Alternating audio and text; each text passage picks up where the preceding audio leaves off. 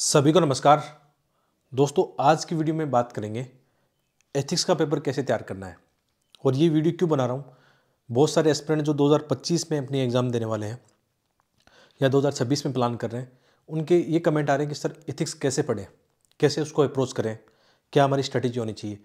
और साथ में ये भी बताऊँगा, आपको इथिक्स के पेपर में किसी को एक रुपये देने की नीड नहीं है। बिल्कुल फ्री ऑफ़ कॉस्ट कैसे तैयार करना है। ठीक है? सौभाग्य से इथिक्स में मेरे दो बार अच्छे मार्क्स हैं। एक बार 104 पाँच मार्क्स आए और एक बार 126 मार्क्स आए।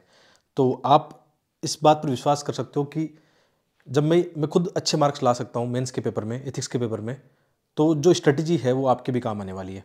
और आपको एक्स्ट्रा पैसा भी नहीं खर्च करना है। तो बने रहना वीडियो में, एक एक करके बात करते हैं। तो सबसे पहले एथिक्स के पेपर में आपको क्या करना है? सिलेबस देखना है। और सिलेबस ध्यान रखना है कि, जैसे हिंदी, इंग्लिश दोनों में रखना साथ में क्योंकि हिंदी वाले में कई बार कुछ कुछ कीवर्ड गायब हो जाते हैं। मैंने ऐसा देखा है सिलेबस में। आप भी जब देखोगे, आपको पता लग जाएगा। तो हिंदी, इंग्लिश दोनों साथ में रखना है सिलेबस को ठीक है साथ में। और कैसे प्रिपेयर करना है? एथिक्स के पेपर में तीन या चार चीज़ें इंपॉर्टेंट होती है। एक तो जैसे सिलेबस में जो भी कीवर्ड मेंशन है, आपको उनका अर्थ मालूम होना चाहिए। और साथ में उसका आपको अपना जो समझ है, वो भी उसके प्रति होनी चाहिए। जैसे एग्ज़ाम्पल के लिए इथिक्स क्या है? वैल्यू क्या है? इमोशनल इंटेलिजेंस क्या है? जो भी सिलेबस में ऐसे वर्ड लिखे गए ना सिलेबस में, उनके बारे में आपको जानकारी हासिल करनी है। सामान्य आपको जानना है। ऐसा नहीं कि किताबी परिभाषा आपको जानो बिल्कुल नहीं आपकी जो समझ है, उसके हिसाब से जानना है। पहला पॉइंट होगा। दूसरा पॉइंट होगा, सबके आपको अच्छे एग्ज़ाम्पल चाहिए। करंट एग्ज़ाम्पल आपके पास हो सकते हैं। जो किताबों में लिखे हैं एग्ज़ाम्पल वो हो सकते हैं। टॉपर्स की कॉपी से आप एग्ज़ाम्पल ला सकते हो। एग्ज़ाम्पल का मतलब जैसे कोई क्वेश्चन आ रहा है, बिना एग्ज़ाम्पल के क्वेश्चन को हैंडल नहीं कर पाओगे। इथिक्स के क्वेश्चन इथिक्स के जो क्वेश्चन आते हैं, उनकी डिमांड होती है कि आपके पास अच्छे एग्ज़ाम्पल होने चाहिए। तीसरी बात क्या होनी चाहिए? आपके पास अच्छे फ्लो चार्ट होने चाहिए। ठीक है, दोनों तरह के एस्पिरेंट को नंबर मिले, ऐसे एस्पिरेंट भी जिन्होंने फ्लो चार्ट नहीं बनाए, उनके भी अच्छे मार्क्स हैं। और जैसे मैंने फ्लो चार्ट बनाए तो मैं कह सकता हूँ कि फ्लो चार्ट ठीक है बनाना। इनोवेशन थोड़ा उसमें झलकता है। और पैराग्राफ शैली की बजाय आप छोटे छोटे कीवर्ड में लिखना उसको, ठीक है? ये एक डिमांड होती है। फोर्थ इसमें एक केस स्टडी जैसे बात करें तो केस स्टडी का आपका जो फॉर्मेट है वो बहुत अच्छा होना चाहिए। ऐसा घिसा पिट्टा नहीं होना चाहिए। आजकल आप टॉपर्स की कॉपीज हर कहीं मिल जाती है, आराम से उसको देखना। ठीक है, मैं भी आपको बताऊँगा कि जो मेरी केस स्टडीज़ है, जो मैंने सोल्व की बहुत ही बेस्ट तरीके से, वो आपको कहाँ मिलेगी, उसके बारे में भी हम बात करेंगे। तो सबसे पहले आपका सिलेबस है। इथिक्स में पेपर में आपको क्या देखना है? जो भी सिलेबस है, आपके पास होना चाहिए। और एक बात और ध्यान रखना, अपने शॉर्ट नोट्स बना लेना। जो भी आप किताब पढ़ रहे हो, कोई नोट्स पढ़ रहे हो, कहीं भी जो भी मैं रिकमेंड करूँगा आपको, वो पढ़ रहे हो तो उनके मतलब 20-25 पेज में आपके नोट्स होने चाहिए। मैंने एक चीज़ नोटिस की है, जितने आपके नोट्स छोटे होंगे, उनको उतनी ही बार आप रिवाइज कर सकते हो, उतनी बार जो एग्ज़ाम्पल आपको याद रहेंगे और एग्ज़ाम में आसानी से लिख सकते हो।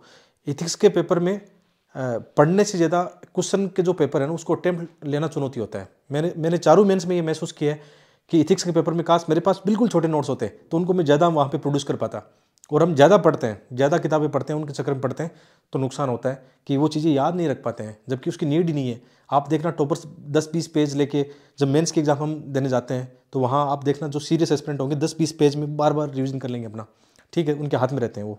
तो ऐसे करके आप शॉर्ट नोट्स भी आप बनाना है। ठीक है? तो कहने का क्या मतलब है? जो अभी मैंने बातें बताई तीन चार बातें, उसको कैसे अप्लाई करना है, वो चीज़ आपको बता देता हूँ। और फ्री में कैसे तैयार करना है, वो भी बताता हूँ। मैंने इथिक्स का पूरा पेपर जो है, टू दी पॉइंट सिलेबस अपने यूट्यूब चैनल पर बिल्कुल फ्री में पढ़ा रखा है। ठीक है? दो साल पहले पढ़ाया था, उसमें कोई अपडेट नहीं होता है। अपडेट आपको खुद को एग्ज़ाम्पल करने होते हैं, बाकी उसमें नीड नहीं है। अब आपकी मर्ज़ी कि आप दस बीस हज़ार रुपये दे के एथिक्स किसी टीचर से पढ़ो, या फ्री में जो है जिसके अच्छे मार्क्स आए उनसे पढ़ो। आपकी मर्ज़ी है, ठीक है? फ्री वाले के बच्चे कदर कम करते हैं थोड़ी।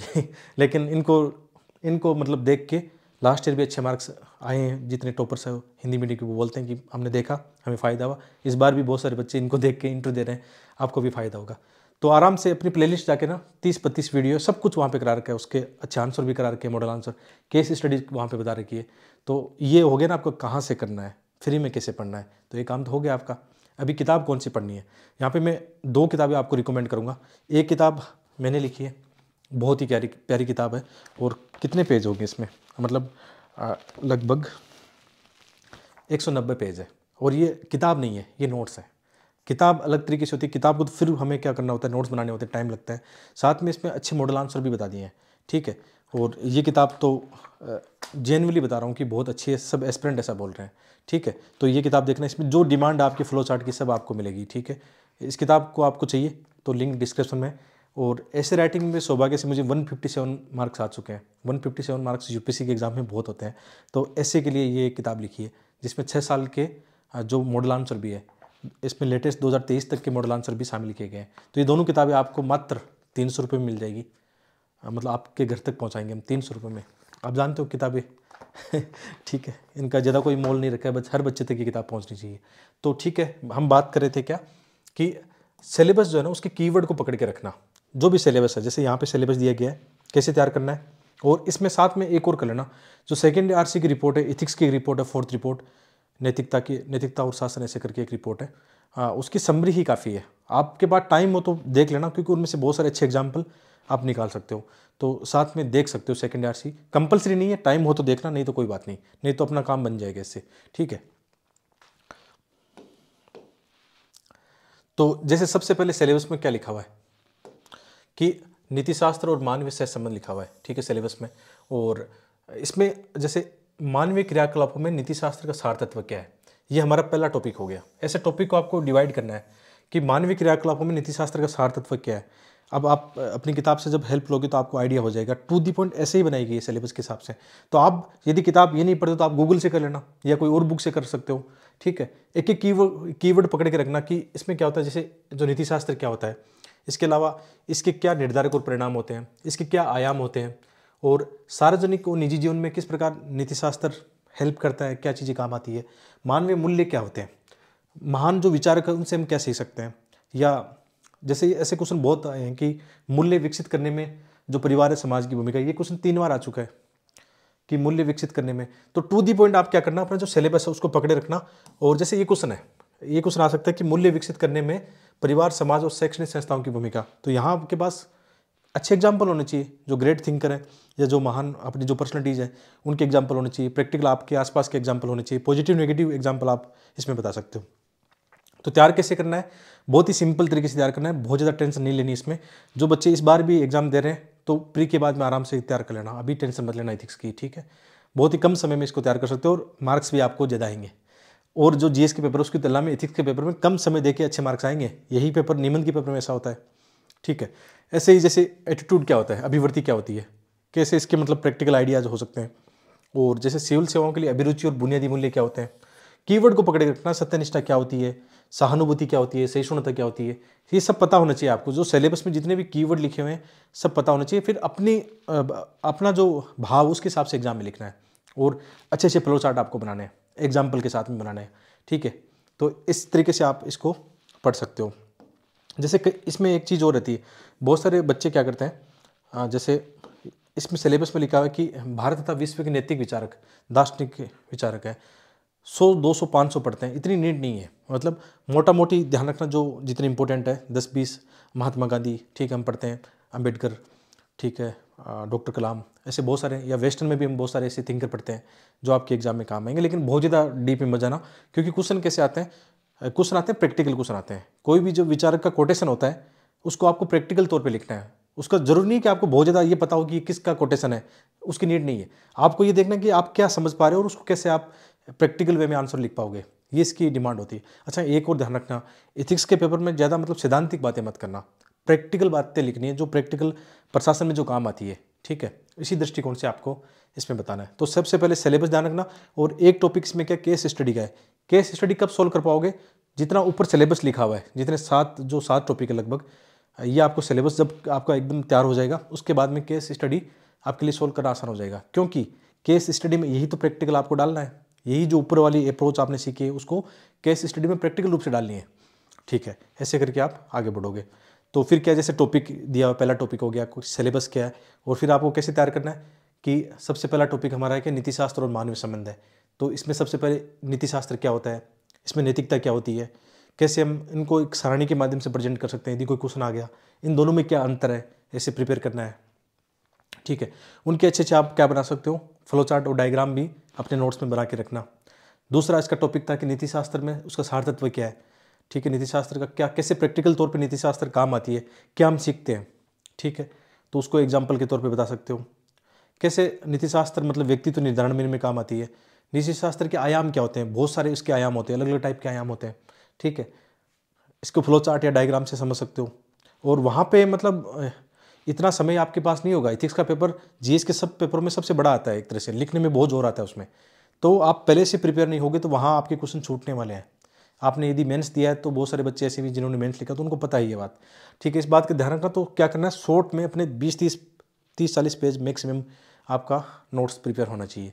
शॉर्ट में एकदम। टू दी पॉइंट होना चाहिए, जैसे सिलेबस है, और उनको क्या करोगे, जैसे अपनी ये किताब है। ये जो है, अपनी किताब का ही कंटेंट है, जो अभी आपको किताब बताइए। ये किताब का ही कंटेंट ये किताब ही दिखा रहा हूँ आपको, ठीक है? इसके अलावा जैसे इथिक्स के पेपर में क्या होता है जो अच्छे कोटेशन है, वो भी आपके पास होने चाहिए। आप जहाँ पे भी अच्छे कोटेशन पढ़ते हो, उनको अपने डायरी में नोट्स कर सकते हो। वो आपके ऐसे में भी काम आएँगे, और एथिक्स के पेपर में भी आएँगे। इसमें जहाँ जहाँ मुझे मौका लगा, मैंने बहुत सारे अच्छे कोटेशन यहाँ पे बता दिए हैं, ठीक है? और ज़्यादातर ये किताब फ्लो चार्ट डायग्राम के माध्यम से ही लिखी गई है, ठीक है? तो आपको हेल्प कर देगी, अलग से आपको बहुत ज़्यादा डायग्राम नहीं बनाने होंगे। इसी से आपका काम चल जाएगा। आप जैसे जैसे आगे जाओगे इस किताब में, बहुत सारे डायग्राम एग्ज़ाम्पल जैसे इसको अपडेट भी कर दिया गया है। जो नए नए एग्ज़ाम्पल करंट अफेयर में आए, वो भी यहाँ पर डाल दिए गए हैं, ठीक है? आप भी ऐसा करना। आपको इससे फ़ायदा मिलेगा, जो बॉक्स बनाया गया उसका मतलब ये करंट अपडेट है। तो जब भी आप न्यूज़पेपर पढ़ते हो, आपको लगता है कोई केस स्टडी है, कोई एग्ज़ाम्पल है, जो आपको एथिक्स के पेपर में काम आएगा, उसको आप लिख सकते हो। जैसे जो रिसेंट एग्ज़ाम्पल होते हैं, चाहे वो इन्वायरमेंट के दृष्टिकोण से हो या किसी भी दृष्टिकोण से हो सकते हैं, ठीक है? और अच्छे मॉडल आंसर भी मैंने ऐड कर दिए हैं। जैसे टॉपिक एंड होगा, उसके अंदर मॉडल आंसर आपको मिलेगा, ठीक है? और हैंड रिटन मॉडल आंसर मिलेगा, ताकि आपको वो सब सीमा जो होती है कि डेढ़ सौ वर्ड का क्वेश्चन कैसे लिखते हैं, दो पेज में कैसे क्वेश्चन मेंटेन करते हैं, ठीक है? वो भी आपको हेल्प करेगा, ठीक है? जैसे टॉपिक एंड होगा, हर एक टॉपिक जो एंड होता है, उसके बाद में अच्छे अच्छे क्या है, जो मॉडल आंसर बता रहा था आपको मैं, वो आपको मिल जाएँगे। जैसे ये कुछ एंड हुआ अपना तो इसके अंदर जो मॉडल आंसर लिखा हुआ है, दोनों फॉर्म में प्रिंट फॉर्म में भी है और हैंड रिटन भी मिलेंगे आपको, ठीक है? जैसे यहाँ पे हैंड रिटन मॉडल आंसर है, कैसे लिखते हैं, कि इंट्रोडक्शन में क्या लिखते हैं बॉडी पार्ट में क्या लिखते हैं, ठीक है? वो आप सीख सकते हो यहाँ से। या कोई भी किताब जब पढ़ते हो तो इसी दृष्टिकोण से पढ़ना है। मैं बार बार इसी बात को कह रहा हूँ कि ज़रूरी नहीं कि आप मेरी वाली किताब पढ़ो।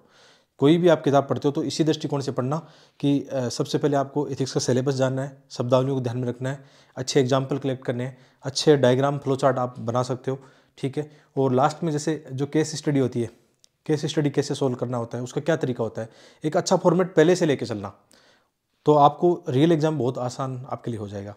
तो ये चीज़ें हैं कि मोटा मोटी कौन सी चीज़ें आपको ध्यान रखनी है, और केस स्टडी का भी एक अच्छा फॉर्मेट आप सीख लेते हो तो इसको इससे आपको बहुत लाभ होने वाला है। जैसे लास्ट के अंदर आप जाओगे तो केस स्टडी का मैंने फॉर्मेट बताया, बहुत ही प्यारा, कि केस स्टडी लिखते समय किन बातों को ध्यान रखना है, ठीक है? जैसे ये केस स्टडी दी गई है तो कैसे उसका इंट्रोडक्शन पार्ट लिखते हैं, कैसे जो क्वेश्चन जो पूछे गए हैं, हितधारक कैसे लिखते हैं डायग्राम के माध्यम से, जो क्वेश्चन पूछे गए हैं, कैसे उसको एक आप सराहनी के माध्यम से प्रेजेंट कर सकते हो, जो आपने कोई भी विकल्प चुनने हैं, उसको कैसे आप ऐसे लिख सकते हो तो एक अच्छे फॉर्मेट के हिसाब से लिखा गया है। तो ये जो मतलब आपका क्वेश्चन था कि कैसे इथिक्स पढ़ें। तो इथिक्स पढ़ने का आपने तरीका सीख लिया। नोट्स बहुत ज़्यादा नहीं पढ़ने कोचिंग के पीछे नहीं भागना है। अपने नोट्स बना लो या तो गूगल से ही बना सकते हो या किसी किताब से अपने नोट्स बना सकते हो। बीस पच्चीस पेज में बन जाए तो बहुत अच्छा है। अच्छे एग्ज़ाम्पल अच्छे कोटेशन अच्छे डायग्राम आप तैयार रखना। तो आपका जो क्वेश्चन था बहुत ज़्यादा मैसेज थे आपके कि इथिक्स कैसे अभी से तैयार करें। तो आप आराम से तैयार कर सकते हो, कम समय में तैयार कर सकते हो। एथिक ऐसे एथिक्स और ऐसे दोनों तैयार कर सकते हो कम समय में ऐसे थोड़ा सा ऐसा है कि थोड़ा पढ़ लेना एक बार जीएस के टॉपिक पढ़ लेना। कुछ आपका चीज़ें पढ़ना शुरू कर दोगे ऐसे आपका बाद में अच्छे से प्रिपेयर हो जाएगा। तो देखना, ये दोनों किताबें जो है, इनका लिंक डिस्क्रिप्शन में दिया गया है। बहुत बहुत धन्यवाद। मिलते हैं एक और वीडियो में।